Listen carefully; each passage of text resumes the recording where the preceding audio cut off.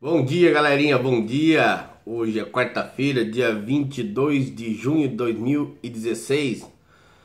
Temperatura de 23 graus aqui na Suíça. A hora são agora 11 e 15 da manhã, fuso horário 5 horas a mais que no Brasil. Estou na minha casa, no, no meu cantinho aqui no meu bar. E resolvi contar mais um, um, caso aí de uma história de estrada para vocês aí que o pessoal gostou, gosta de que conta essas, essas aventuras de estrada, então resolvi contar mais um. Ó, a, a situação passou-se o seguinte, foi perto de Três Rios, ali tava indo sentido nordeste, ia passar por Muriaré, tava ali sentido Nordeste, já falei? E rapaz, eu tava com um Volvo, um Volvo EDC 360, azulzão.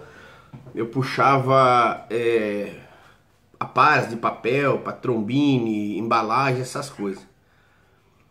E um, um determinado lugar, eu não sei que eu parei no,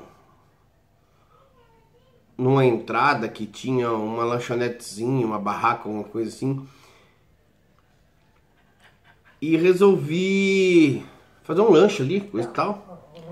Só que quando eu fui sair, eu acho que eu soquei muito, que era uma, uma meio uma subidinha assim, e eu dei um tranco ali na, na, na no coisa do no, no caminhão. E deu um estralo, rapaz. E da hora ali não parecia ser muita coisa não, mas aquilo foi só aumentando, foi só aumentando. E eu fiquei meio, meio assim, pensando, pô, o que será que aconteceu, né?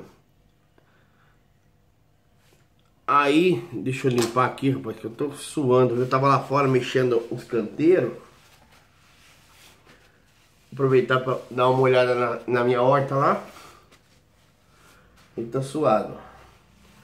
Aí, rapaz, coisa e tal, é... Logo mais pra frente... É fez um barulhão e plá, estracaçou tudo. Aí eu disse, agora o caminhão parou, não ia mais, patinava e não. Patinava, digo assim, fazia barulho, mas não rodava, não saía do lugar. E eu na época não tinha muita experiência, né? Eu disse, putz, não sei o que aconteceu. E eu fui olhar embaixo do caminhão, adivinha? Pluf, cardãozão pendurado lá. Cardão. Eu disse, rapaz, o que eu fazer agora? Era um domingo, não tinha oficina aberta, não tinha nada. falei, lascou-se tudo, né? E sentei lá, rapaz, fiquei ali pensando o que, que podia fazer. Na empresa também liguei para Deus, todo mundo, ninguém atendia, final de semana. Falei, agora lascou tudo, tem que esperar até segunda-feira aqui, né? Parar na beirada da estrada, caminhão quebrado. Aí tô ali, rapaz, peguei um, eu tinha um facãozinho assim pequeno, sempre andava ali cortar alguma coisa, uma borracha, coisa e tal. E tinha do lado ali tinha um, uma moita de bambu, mas um, uma monstro de uma moitona. E eu fui lá, rapaz, ali tinha uns bambuzão grosso assim, ó, mas um, uns fera mesmo, rapaz. Eu disse, eu acho que eu vou fazer uma capa pro cardão desse bambu aqui, rapaz. Substituiu o, o cardão. Mas deu trabalho, porque eu peguei, cortei um que estava bem retinho, bem grande, bem grosso. E fiquei ali, fiz os encaixes bem certinho e tal, pedacinho por pedacinho, onde vai a cruzeta, que a cruzeta tava... Dava, eu tinha uma cruzeta lá, dava para encaixar certinho. E trabalhei ali com o canivete, fui forçando, forçando, fiz, ajeitei, encaixei certinho, ó. A cruzeta no, no cardan que eu tinha feito ali com, com, com o bambu. E eu disse, vou ter que dar um jeito de prender, né? E peguei uma câmera velha que tinha ali dentro da, dentro da gaveta de ferramenta da carreta. Cortei umas lascas assim bem compridas. E passei em volta ali da, da cruzeta, né? Fiz aquela moída ali bem amarrado. Dei um top, arrematei ali. E passei no da frente também. Ficou, até que ficou ali. Tirei aquelas rebarbas que tinha ali no, no bambu. E eu falei, vai dar pra ir, né? Não é muito longe até do recurso. E eu peguei e fui. E fui. Andei, rapaz, fui longe, chegando quase lá em Muriaé já. Ali mais ou menos de Três Rios, tava lá em Muriaé. Aí Foi embora, sem problema nenhum. Chegando lá em Muriaé, no, no, no agora esqueci o nome daquele posto lá, já passando já de Muriaé, lá pra frente lá. É um posto lá do, do lado de direito. Tem uns amigos meus que sempre tá, foram me encontrar uma vez lá, eu não lembro o nome do posto agora, gente. Putz. E lá tem bastante negócio de peça, de coisa para caminhão, tem bastante conserto. A quem é mais antigo lembra uma vez que eu troquei um bexigão da, do, do Scania lá no cara lá em Muriaé, lá, lembra? Um vídeo antigo que eu fiz. Aí peguei, botei o caminhão lá perto, era um, um, uma reta assim.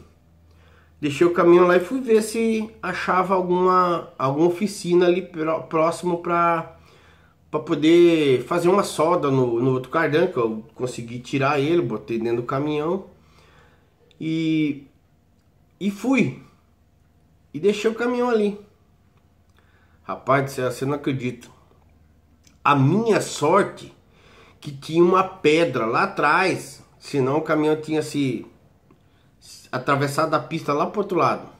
Não é que o bambu ele torceu de uma forma que ele ficou muito torcido. E quando eu parei o caminhão, ele, que ele começou a distorcer e o caminhão voltou de ré. Voltou, voltou, voltou e deu lá numa pedra que tinha lá atrás. A minha sorte que tinha aquela pedra, senão ele tinha passado pro outro lado lá. Porque quando eu peguei logo que tinha pegado, eu tava com que uns, não lembro, acho que uns 30, 29, 32 toneladas, uma coisa assim, de bobina de papel. E quando eu peguei a subidinha lá, que eu, aquele cardan que eu tinha feito de bambu, ele torceu e ficou torcido. Quando eu parei, ele tava bem já torcido. E eu deixei lá, mas estava puxado, freio de mão, tudo. Só que ele com muita força, ele pegou e distorceu de volta. Distorceu, no que ele distorceu, o caminhão voltou. Voltou e foi parar lá embaixo numa pedra. Ah, meu amigo. Eu tô ali, rapaz, intertido, quando eu vejo lá, olhei, ué, meu Deus, cadê o caminhão? Me assustei, eu falei, caramba, fui ver o caminhão de atravessado lá do lado, lá embaixo da pedra. Falei, rapaz, não foi fácil. Eu levei um susto, um susto. Ainda bem depois a gente tirou aquele cardan e eu botei o outro soldou. Inclusive tinha um outro rapaz que tava com problema no cardan e eu cedi para ele, que ele tava meio duro, eu cedi aquele que eu tinha feito e diz que ele foi até Feira de Santana ainda com aquele cardanzinho que eu tinha feito de, de, de bambu ainda. Ele passou mais um reforço ali, mais umas borrachas, ele usou que lá foi até Feira de Santana ainda, lá que ele foi arrumar o cardão. Mas é Acontece, né? História de estrada aí. Mas fica a dica, tá bom, galera? Um abraço, tudo de bom pra vocês. Boa quarta-feira.